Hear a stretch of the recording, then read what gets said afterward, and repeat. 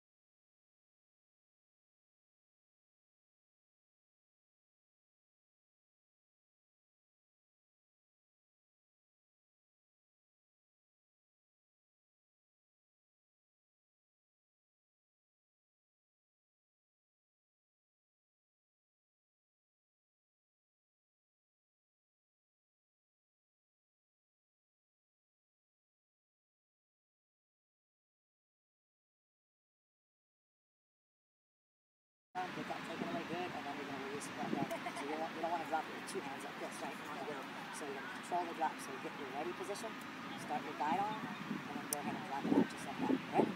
So you do it.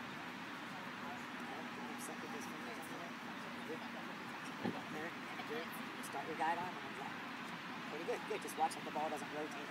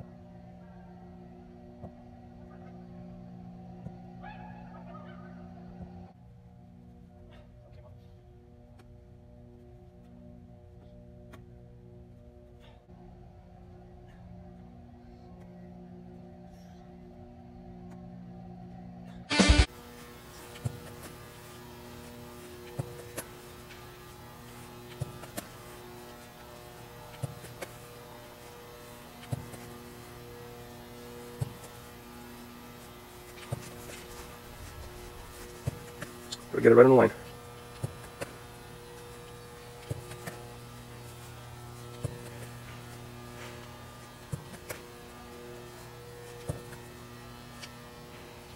of the ball on the foot. The ball is actually dropped, and as it descends, it should remain in the same position as it was during its release. The drop is considered the single most important aspect of punting. It determines the exact placement of the ball on the foot. The ball is actually dropped, and as it descends, it should remain in the same position as it was during its release. As explained before, the front of the ball is angled inward, with the laces pointed towards the outside edge of the shoulder. Again, this position will allow the ball to meet the foot at the optimum spot and angle.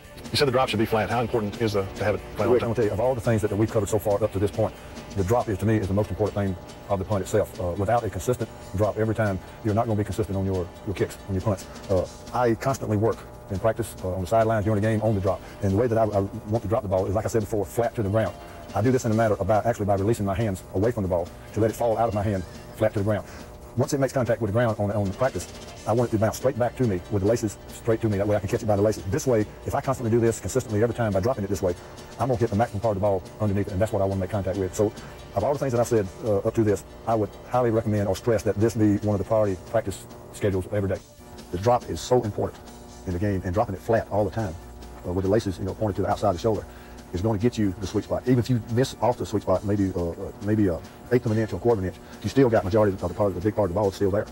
So this is this is what I call a sweet spot. This is what I aim for right here. As the punter catches the snap, he should keep both hands on the ball until he begins his final step. At this point, the cradle hand should leave the football in a natural movement. The release is then made just before the final step makes contact with the ground. By dropping the ball with one hand, the punter is able to extend the ball further out and is also able to hold it slightly longer. This allows for better transfer of energy, control, and minimizes the distance the ball drops. Remember, the drop is one of the most important aspects of the punt. It determines the exact placement of the ball on the foot. ball already extended. Another punting drill that you can focus on that'll make you a better punter is what we call a rocker step drill, or in essence, a one-step punt.